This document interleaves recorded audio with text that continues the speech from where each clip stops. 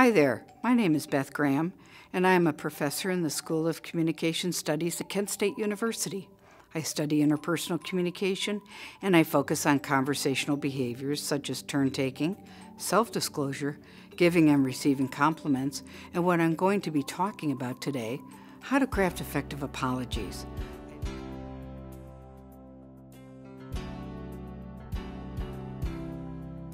People make mistakes all the time, not just bad people or weak people, all people. It's the nature of being human. Making a good apology is an important conversational skill. A good apology is an art. A sincere apology shows you're taking responsibility for your actions. This can strengthen your self confidence, self respect, and reputation.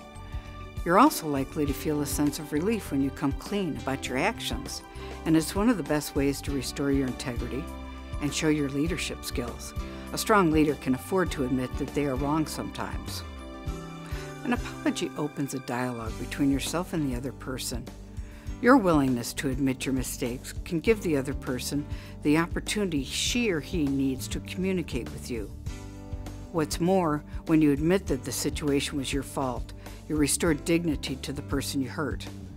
Crafting that apology can make the person you've hurt feel better is no small feat. In fact, in order to be truly effective, an apology must contain several components.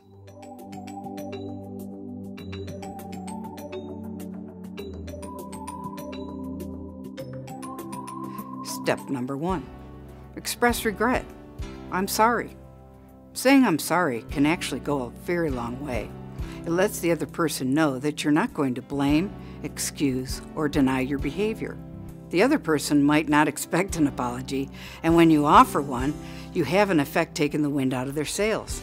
This is a communication strategy that, if sincere, can be very successful. If you're not sorry for your actions, don't apologize. Step number two admit your wrongdoing, your declaration of guilt. I did it.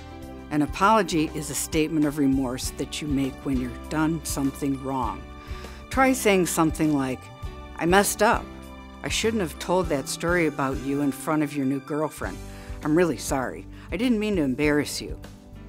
Communication research tells us that 40% of people want to hear us say, I was wrong, while the other 40% most want to hear us say, I'm sorry.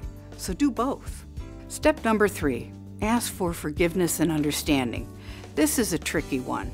It might not be appropriate to ask for forgiveness at this time. Depending on the egregiousness of the act, it may be unrealistic to ask for forgiveness. Instead, you could say, I know I can't ask for forgiveness for drinking too much at the dinner last night and causing us to lose our best account. But perhaps in time, I can show you that I am truly sorry, and maybe you might forgive me and give me another chance. Step number four assurance is offered. Promise it won't happen again, and above all, deliver on any promises you make. While you can't undo what you did wrong, you can offer to do something that shows you value the relationship and you're invested in doing whatever you can to make it right. If you aren't sure how to make the make it right, just ask. Is there anything I can do to make it this up to you? Can I call the account executive and apologize for my boorish behavior? Step number five no excuses. Get rid of the ifs and buts. For example, if I offended you, I'm sorry. When you say if, what you're really saying is, I don't know why you're offended, but you seem to be, so I'm sorry. You need to own that apology. Also, stay away from buts. For example, I know I said some awful things last night, but I had just lost my job and I was in a really bad mood. When you say but, what you're really saying is, you know me, I'm likely to take my bad moods out on you, so don't take my words to, to heart. People make three common mistakes when they apologize to people they blame, they excuse, and they sometimes deny what they've done. Avoid all three. Make the apology and let it stand on its own. Step number six be heartfelt and sincere. There are evolutionary theories that explain why certain kinds of communication behaviors are associated with apology, shame, and embarrassment. One need only look at your dog when they have misbehaved. You will likely see the downward head movements, tail between their legs, and the shrinking of the body, the posture, as a sign of submissiveness. Minus the tail, this is the same kind of appearance we present when we are asking for mercy or forgiveness.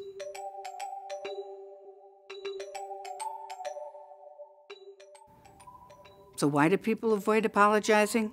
Apologies take courage. When you admit you were wrong, it puts you in a vulnerable position, which can open you up to attack or blame. You may be so full of shame and embarrassment about your actions that you can't bring yourself to face the other person. And bear in mind that the law sometimes encourages us to avoid apologizing because it could be interpreted as an admission of liability or guilt. But there are so many benefits to apologizing. One of the best reasons to apologize is to reaffirm boundaries. When you're in a conflict with someone, usually there is a boundary that is crossed. If a social rule is violated or trust is broken, an apology helps to affirm what kind of future behavior is preferred. Negotiations proceed from there. When you apologize, you acknowledge that you engaged in unacceptable behavior. Ultimately, you have an opportunity to enhance the relationship because apologies can open up a line of communication with the other person. It's all on the table now. Finally, a sincere apology can also bring relief, particularly if you have guilt over your actions. We all know that feeling of being relieved of what that 10 pound weight we've been carrying around feels like. One of the best apologies I have seen lately is the one delivered by comedian Jonah Hill on The Tonight Show. After being harassed by a member of the paparazzi, Jonah Hill used a homophobic slur in response. In less than two minutes, though, his apology covered all the elements we just discussed. One, he expressed regret. I am deeply sorry for anyone who's been affected by this term. Two, he admitted he was wrong, he said. The word I chose was grotesque. No one deserves to hear words like that. 3. He asked for forgiveness and understanding. He acknowledged that he let members of the LGBTQ community down. Humbly, he admitted, I don't deserve or expect your forgiveness. 4. He made no excuses. He encouraged people to use me as an example of what not to do. Don't respond to people with anger or hatred. 5. He was sincere. At one point, he was choked up, and you could tell this was very important and difficult for him to say, but he needed the, his apology to be heard. As with Jonah Hill, a sincere apology can also bring relief and an opportunity for atonement and restitution. To improve your communication with others, learn to apologize. It's a life skill I guarantee is worth mastering. You won't be sorry.